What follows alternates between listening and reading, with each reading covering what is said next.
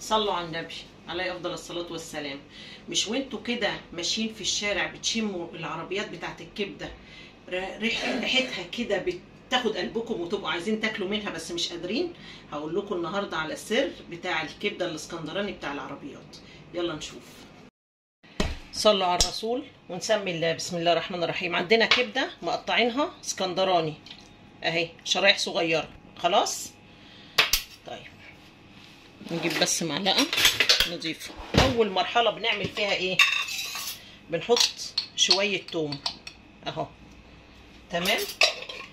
وبنحط شوية كمون. أهو. هقول لكم التريكات اللي عمركم ما هتعرفوها بتاعت العربيات اللي في ال- اللي بتبيع الكبده شوية فلفل اسمر شوية كزبرة. وده مهم جدا. كزبره ناشفه خلاص ونحطش ولا ليمون ولا خل في المرحلة دي. بس بنقلب كده كويس قوي. يبقى حطينا إيه؟ توم وكزبرة ناعمة وفلفل أسمر وكمون. بس بنعمل كده. اهي بنقلبها كويس. ولا ملح ولا خل ولا ليمون في المرحلة دي. ماشي؟ وبنسيبها. عايزة أقول لكم على حاجة. في ناس اختلفت في موضوع نغسل الكبدة ما نغسلش الكبدة. كل واحد حر. اللي عايز يغسلها يغسلها بس أهم حاجة اللي يغسلها ما يحطش عليها خل لأن الخل بيزفر الكبدة.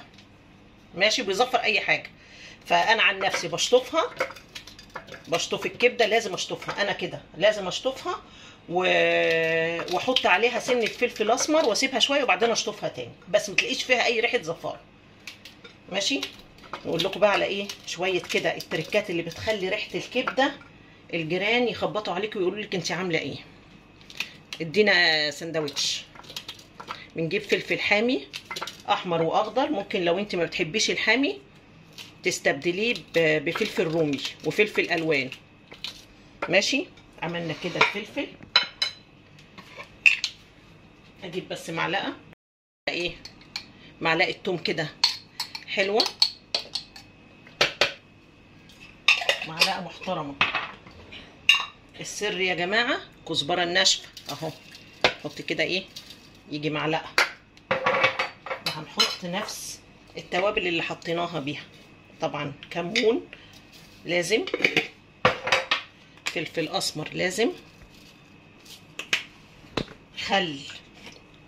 أكيد. نحط كده يعني ربع فنجان أو نص فنجان. فنجان القهوة. ليمون.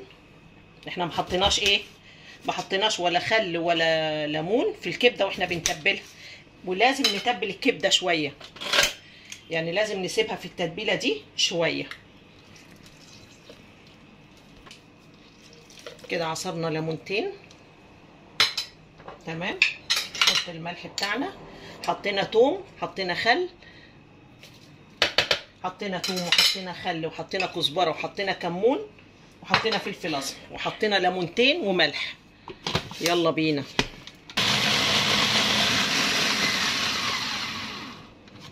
ضربناهم كده كلهم مع بعض. بصوا. يلا بقى بينا نشوف هنعمل إيه. نحط شوية زيت. بس إيه بقى؟ بتحتاج شوية زيت محترمين. بعد كده ممكن تصفي الزيت. أديني بقول أهو. بعد كده ممكن تصفي الزيت. لكن لازم شوية زيت حلوين. دي تركاية من ضمن التركات اللي بتخلي ريحة ال ال الخلطة دي نزود الزيت شوية. ممكن بعد كده تصفي الزيت لأن الزيت ده هو اللي بيدي سر الريحة يعني سر من أسرار الريحة اللي بتشميها كده وأنت ماشية. ماشي؟ الزيت يسخن قوي. لازم يسخن جامد.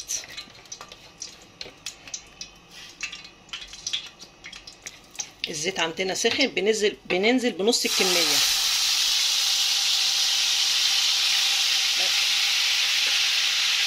تمام؟ عايزة أقول لكم على الريحة يا جماعة. يا جماله يا جماله. كده؟ تغلي كلها. كده الخلطة بتاعتنا كده. تغلي إحنا حطيناها على. على زيت. سخن قوي. ننزل بقى إيه بالكبده بتاعتنا.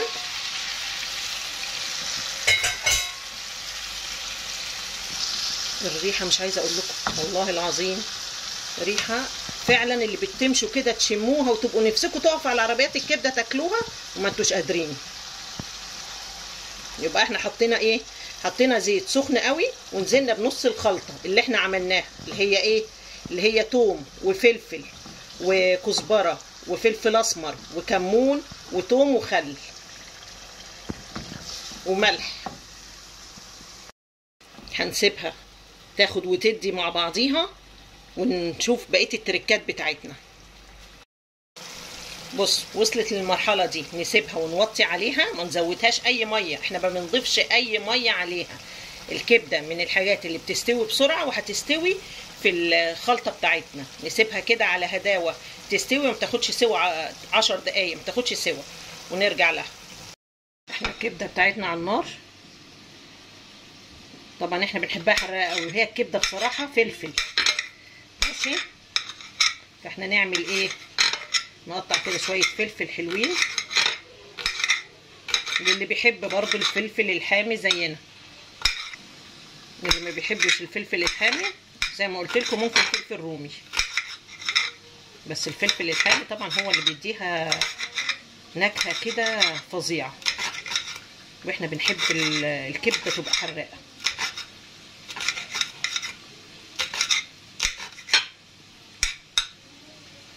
التركات دي يا جماعة اعملوها زي ما أنا بقول لكم كده وشوفوا النتيجة. ادي الكبده بتاعتنا ما حطينا لهاش ميه خالص لازم ما تحطوش للكبده ميه خالص. اهو هي بتستوي. اللي هي فيه بنعمل إيه؟ التركايه التانية عندنا نص الخليط اللي إحنا شلناه. ننزل كده عليه. ماشي. حطينا إيه؟ نص الخليط. الخلطة الحلوة دي اللي إحنا عملناها. مفيش ثواني. حطيناها كده. طبعا انت عايزة تظبطي الملح اظبطيه. ماشي؟ هنزل بشوية الفلفل الحامي. الكلام ده قبل ما خلاص هقفل. وهحط حاجة واحدة تانية. الكزبرة. الحاجة الوحيدة اللي هضيفها تاني. أنا حطيت كل حاجة بس لأن هو سرها في الكزبرة فأدي حطيت شوية كزبرة تاني. بس كده. وكلوا أحلى كبدة يا جماعة أحلى كبدة. أدي الكبدة بتاعتي.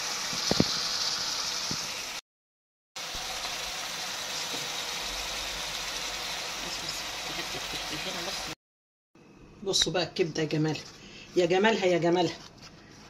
ها؟ نعمل كده سندوتشات. حاجة كده يا جماعة. والله العظيم مش عايزة أقول لكم ريحتها عاملة إزاي. حاجة فاخر من الآخر. بصوا. نحط بقى الطحينة الشغل العالي. بصوا بقى الطحينة. الطحينة دي طبعا أنا اللي عاملاها. بص بص بص يا نهار أبيض. يا نهار أبيض يا جدعان. ادي الكبدة أدي السندوتشات بتاعتنا. الكبدة يا جماعة بالتركات اللي بتخلينا وإحنا ماشيين كده بنشم ريحة الكبدة بتاعت العربيات بنبقى هنتجنن عليها. اعملوها بنفس التركات دي وبنفس الطريقة وقولوا لي إيه رأيكم فيها في الكومنتات. بصوا بصوا السندوتشات عاملة إزاي.